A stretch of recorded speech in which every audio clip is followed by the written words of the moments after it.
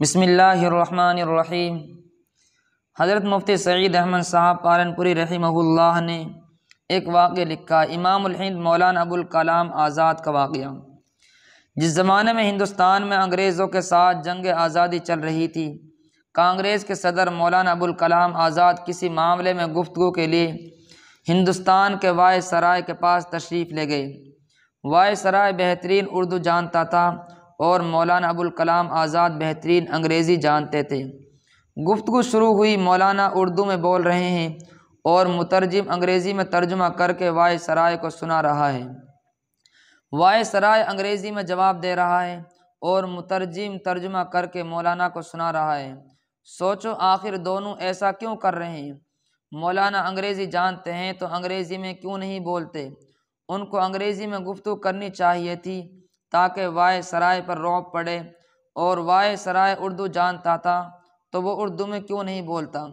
उसको उर्दू बोलनी चाहिए थी ताकि मौलाना आज़ाद पर उसकी काबिलियत का कुछ असर पड़े। मगर ना तो वाय सराय उर्दू बोलता है और ना मौलाना अंग्रेज़ी बोलते हैं।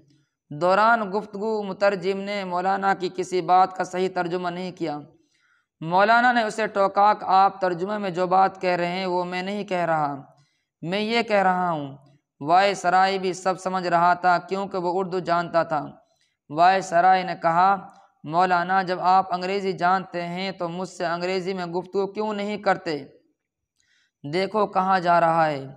मौलाना भी तो ये कह सकते थे कि जब आप उर्दू जानते हैं तो मुझसे उर्दू में गुफ्तु क्यों नहीं करते? मगर वो नीचे उतरना नहीं चाहता।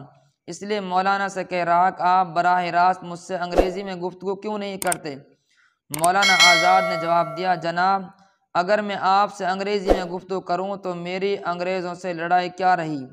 जब मैं उनकी ज़बान बोलने लगा तो अब मेरी उनसे कोई लड़ाई नहीं रही। यही वो दौर था जब हिंदुस्तान के बड़े बड़े मुफ्तियों ने फतवा दिया था कि अंग्रेज़ी सीखना हराम है, अंग्रेज़ी फ़ौज में मुलाजमत हराम है, बरतानिया की मसनूआत हराम है, ये सब फतवे उस ज़माने के थे। और किसी ज़रूरत और मसलहत से थे। क्योंकि जंग आज़ादी चल रही थी, अगर उस ज़माने में हम उनकी मसनूआत पहन रहे हों, फ़ौज में भी मुलाजमत कर रहे हों तो फिर हमारी अंग्रेज़ों के साथ लड़ाई क्या रही?